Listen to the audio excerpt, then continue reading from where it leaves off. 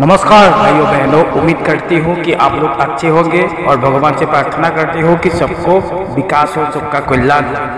वैसे आज मंगलवार है तो हम लोग सभी को हनुमान महाराज की प्रार्थना करना चाहिए हनुमान महाराज को पूजा करना चाहिए, क्योंकि हनुमान महाराज ऐसा है जो सारों युग में प्रताप फैला कर रखा हुआ है अगर हम लोग हनुमान जी का नाम लेते रहेंगे तो हम लोगों के पास कोई भी बाधा, विघ्न नहीं आ सकते तो मैं आज आपके लिए एक हनुमान का बड़ा नाम देकर आ रहा हूँ।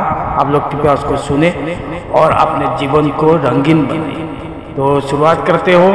आप लोग अपना इसको मानते हुए उसका ज़रूर लाभ लीजिए और उसको स्मरण कीजिए।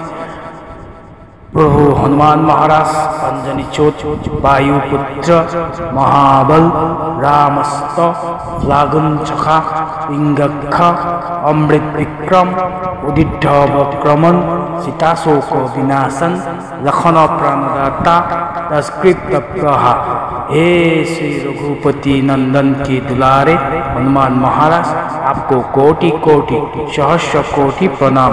हे हनुमान महाराज, हम लोगों की भक्तों की जितने भी संकट है सारे संकट को दूर करके आप हमें रक्षा करो। आप हमें आपकी कृपा से हमारे जीवन की जितने भी अंधेरा है, सारे अंधेरा हटाकर हम लोगों को जीवन को उजाले से, किरण से ढाल दो।